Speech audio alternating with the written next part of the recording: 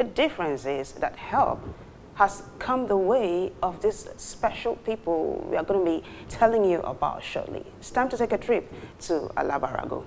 Come along. Alabarago Lepers Colony is where we are today, today being Easter Sunday. And needless to say, my heart is literally in my mouth. But here's the thing, this story must be told. Do these people even know about the lockdown? Do they know about the coronavirus pandemic? It's why we are here today, as well as to distribute foodstuff to the people. There are different groups with different stories, and we are going to tell you about them as we move along. Come along. Social distancing is almost impossible here. But somehow, uh, courtesy of the Onyekwelis, food distribution continues. Like I said earlier on, it's different groups with different stories. Uh, this particular group here uh, is a small group of women and they're just sitting, hoping and waiting for it to get to their turn to receive food. And then this other group is made up of mostly men. The men are also sitting and waiting. And then I come across this man who talks about okay. wanting a prosthetic leg because his leg has been amputated. He's also a leper. And then we have this group of young ladies that keep running away whenever they see the camera coming. I guess it's because they are shy.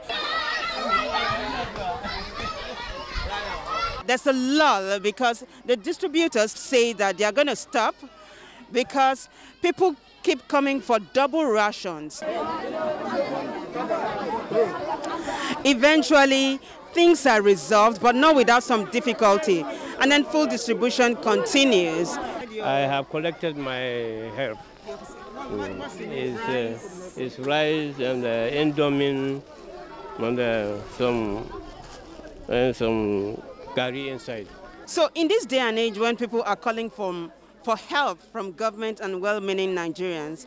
The Onyekwelis here have decided to come to Alabarago and I'm being joined by the representative of the family. This situation is the situation of chronic hunger. The hunger is too much. As you know, they cannot go out to beg. They have been stuck in this place. They don't have food.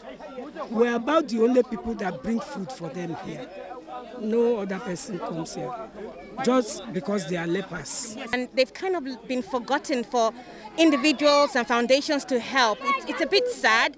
And even though it was a struggle to give, I'm sure that their everyday life is more of a struggle. We are going to call upon the government to please bring some, yes, some relief effort, some relief now that with this COVID situation to please bring some relief here as well. Our trip to Alabarago today has been quite eventful.